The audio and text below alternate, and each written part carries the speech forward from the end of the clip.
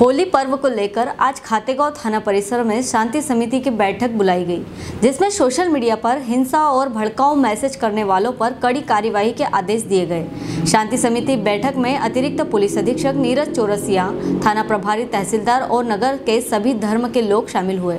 अतिरिक्त पुलिस अधीक्षक ने होली पर्व को शांति और सौहार्द के साथ बनाने की अपील की है।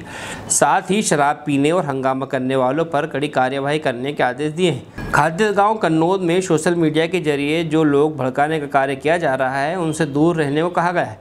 शिकायत मिलने पर तुरंत कार्यवाही करने के आदेश भी दिए गए हैं। पुलिस अधीक्षक ने लोगों को सोशल मीडिया पर उकसाने और हिंसा वाले मैसेज को लाइक, शेयर नहीं करने के लिए कहा है। खातेगांव से सादिक खान की रिपोर्ट। भड़काऊ कुछ पोस्ट चल रही है खातेगांव कन्नौज क्षेत्र में क्या कहना चाहिए इसके संबंध में मैं आपसे ये कहना चाहूँगा कि जिन लोगों की जानकारी मिली है या जिनकी सूचनाएँ आई हैं, चाहे सतवास, कन्नौज, कांटाफोड़ और नेमाबाद में, इन सब पे हम लोगों ने कार्रवाई की है, एफआईआर हुई है। और मैं एक ये और अपील सभी के लिए करना चाहता हूँ कि किसी भी आपत्तिजनक पोस्ट जिसमें किसी सामाजिक और धार्मिक भावनाओं को आहत होती है, चोट पहुँचती है, उसको शेयर करने से, लाइक करने से या उसको पोस्ट करने से बचें।